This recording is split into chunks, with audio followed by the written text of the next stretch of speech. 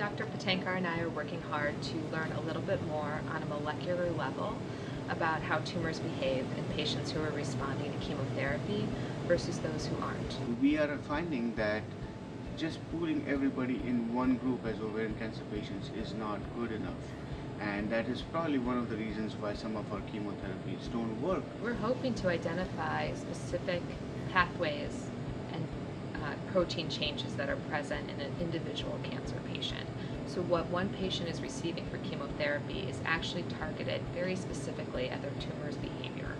That's huge in terms of chemotherapy toxicity and potentially its effectiveness to actually be using chemotherapy that you know is going to stop the cells that are damaging the patient's health without without causing the side effects and um, cellular toxicities to normal tissue, which is what we struggle with in our patients with our standard chemotherapies. So the data that Dr. Berlet will get through her work is really going to be expansive. We can always look at those new therapies, uh, find the mechanism and, and, the way that they work, and then go back to this database that will be created through this the, the funding that Sparkle is providing, and start looking at patients that can match up with that specific therapy. The very first funds we received to start this project were from the Sparkle Fund. The Sparkle funds gave us the opportunity to start our preliminary work in order to apply for a larger pool of funding.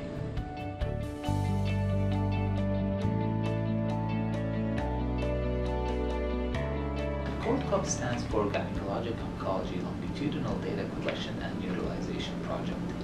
This is a computer program where we keep track of patients' information patient's basic health data, how the surgery goes, what is the outcome of the surgery, what are the chemotherapies and radiotherapy that the patient will get. My colleagues and all the research personnel are involved in the in Gold Cup. Everybody is contributing not only by entering data, but also by supervising and understanding it. Funds from Sparkle of Hope and the generous people like you will help us get the Gold Cup to a standard that we will feel comfortable to make it regional or even national standard that will help all of us speak the same language about research, about outcome, but more importantly, about patients' satisfaction and outcome.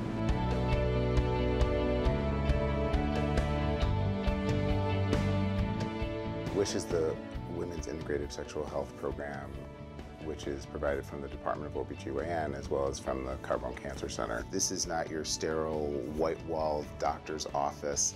Um, because if you're going to be talking about such sensitive issues, you really need kind people who are willing to listen and really hear what you have to say and work through that. And the people that are in this clinic day to day are kind people who really want to help people get on to their normal lives.